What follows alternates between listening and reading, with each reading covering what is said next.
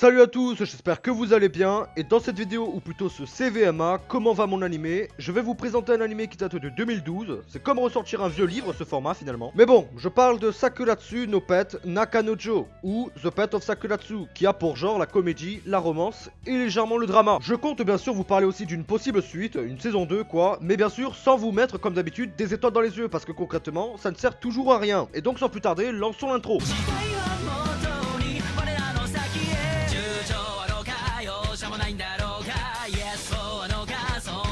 much good I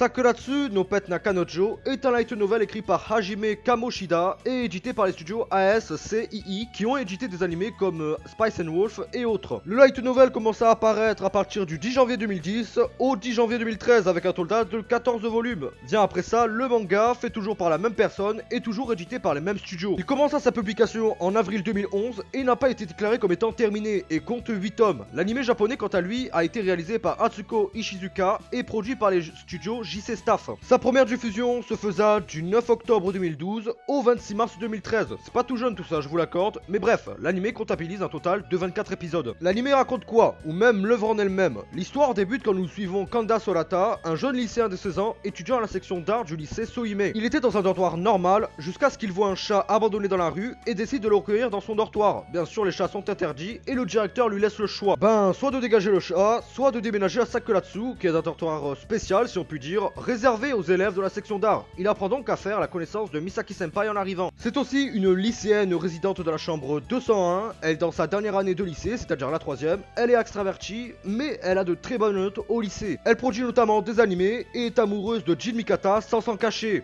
J'ai l'impression de présenter un candidat pour l'émission Next là. Il fait aussi la connaissance de Jin, qui est en même année que Misaki Senpai. Il est également amoureux d'elle, mais reste distant car il croit ne pas la mériter. Après, il s'est fait sa sœur donc. Euh... Ryonosuke, qui est dans la même chambre côté de Sorata, mais n'en sort presque jamais. C'est ce que l'on nomme au Japon un Ikikomori. Il communique avec son entourage uniquement par mail et SMS. Mais malgré son insociabilité, il est très sympa et pense beaucoup à ses camarades. Et pour finir, il y a Chihiro Sensei. Elle est la professeure responsable de Sakuratsu. Elle aime boire, ne rien faire de ses journées et donne assez souvent de mauvais conseils aux élèves. Bref, avec une équipe pareille, on comprend la réputation de Sakuratsu. Mais l'arrivée de Mashiro Shina va bousculer les choses. C'est une artiste de renommée mondiale qui a été transférée au Japon suite à la demande de sa cousine, Chihiro Sensei, et elle doit normalement y apprendre à dessiner des mangas. Connaissant son talent, je me devais de bien la dessiner, donc euh, j'ai fait un petit dessin d'elle, mon Insta est en description pour ceux qui sont intéressés. Voilà, petit coup de pub, comme ça, voilà, ça fait plaisir. Bref, elle ne sait rien faire à part dessiner, et n'a pas vraiment de bon sens, donc Solata est obligé de s'occuper d'elle. S'il y a quelque chose que je devais retenir dans cet animé, c'est que le travail paye. En donnant son maximum, on peut arriver à ses objectifs ou quelque chose de viable. Le comportement de Shina est sûrement la chose la plus drôle de l'animé. Les romances se font lentes mais progressent. Ce que j'aime vraiment, c'est que l'on a un développement de personnages absolument incroyable comparé à certains animés où cela se fait minime. Nous avons un rendu général dans le sens où malgré qu'il y ait beaucoup de personnages, ils arrivent tous à bien évoluer. Je reprocherai quand même au côté drama qu'il n'est pas si oppressant que ça. Nous avons même des fois que les personnages en font trop. Genre, euh, ok, t'as loupé ton oral, mais ce n'est pas grave, tu réessayeras la prochaine fois. En tout cas, l'aspect de famille est bien représenté car ils affirment eux-mêmes que Sakurasu n'est pas le bâtiment, mais eux tous. Je compte aussi Aoyama qui est l'ami d'enfance de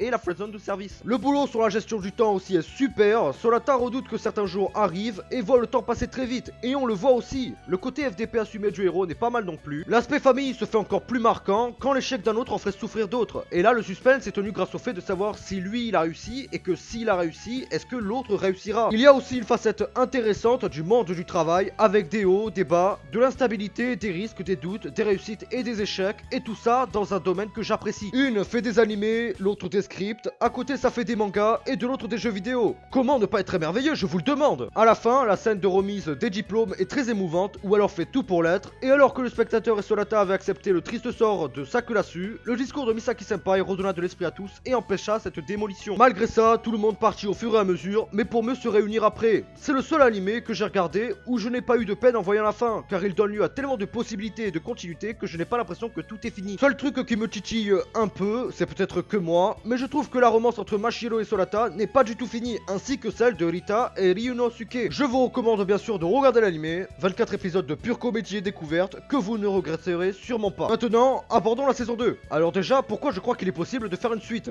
Car il y a eu l'entrée de nouveaux personnages au sein de Sakurasu, donc plus de possibilités. La romance avec Shina n'est pas finie, celle avec Rita non plus. Aoyama va-t-elle rester friendzonée à jamais? Et puis l'essentiel, Solata n'a pas fini son année. Je parle bien sûr de sa dernière année à Sakurasu. Même si je sais que l'anime voulait donner un effet de continuité infinie, toutes les bonnes choses ont une fin. Après, pour s'en souvenir, il faut qu'elle soit mémorable, comme celle de Code Geass. Mais là, nous parlons d'un tout autre niveau. Bref, je m'égare. Je suis de l'avis qu'une suite au niveau scénario est possible, mais pour le reste, c'est plus compliqué. Car le light novel lui continue, bien sûr, je ne vais rien spoiler, mais pour la plupart qui l'ont lu, cela ne leur a pas plu du tout. À moi non plus d'ailleurs, mais j'ai trouvé le débouché assez réaliste. Mais bref, le public n'a pas du tout apprécié, clamant haut et fort qu'une suite tuerait l'anime, et les studios ne donnent aucune réponse. Je suis vraiment désolé, d'habitude j'essaye d'avoir de petits trucs, quitte à faire des recherches complexes. Mais là, pour une fois, vraiment rien de rien. Les studios ne parlent pas et n'agiront pas car l'anime n'est pas assez connu, et le public n'en veut pas, pour une grande partie. Je trouve personnellement qu'une suite serait bien, car elle ajouterait une véritable touche de réalisme, et puis en même temps, il y a toujours moyen de modifier certains trucs, pas obligé de refaire comme le light novel, ou sinon faire des spin-offs ou des OAV. Mais sinon, pour conclure sur cet animé que je trouve toujours génial, je dirais que les chances de suite sont très faibles, 15% pour être plus précis. Mais comme d'habitude, vous pouvez